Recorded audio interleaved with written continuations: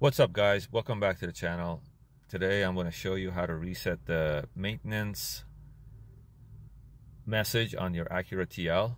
I have a 2012 technology package Acura TL and uh, recently did the oil change and uh, just going to show you how to reset the maintenance message that you get you know in that little screen right there using these buttons right here so all you need to do is do not turn on the car but just press this you know engine start key twice.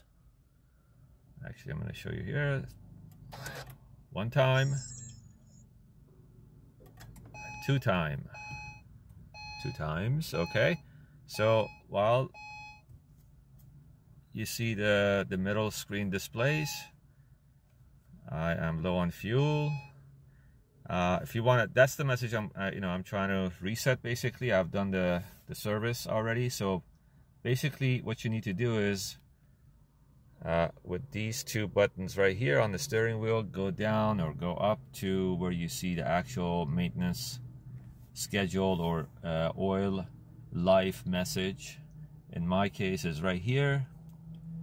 And uh, as you can see uh, it's past 160 miles that I haven't had a chance to reset but basically you come here and uh, on the SEL, SEL reset button right here on the steering you hold on to it for 10 seconds so I'm gonna hold on to it and let's see what happens to the message up on the screen in the middle here we go. Now you get the oil life reset uh, option right there. You simply just uh, choose reset and hit the middle key again or mid middle button SEL reset. And that's pretty much it. Oil life 100%. That's how you do, that's how you reset your oil life or maintenance uh, message. I hope these videos are helpful. Please like, share, subscribe, and I will talk to you guys later. Peace.